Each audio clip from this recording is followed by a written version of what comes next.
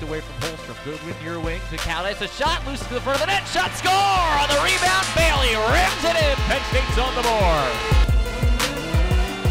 Bailey after it far corner. Spins one with the backhand towards the slot. Holstrom back for Bailey. A shot score! Casey Bailey, his second, and Penn State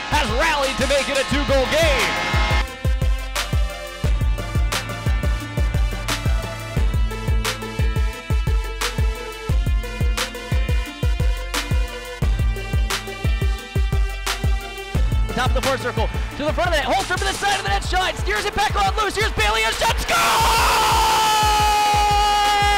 Rips it home from the near circle, this game is tied at four, oh my goodness, Penn State comes back from down four nothing. I have now officially seen everything. Holy cow! What a frenzy at Pegula Ice Arena where they are on their feet going nuts. And Casey Bailey has his first career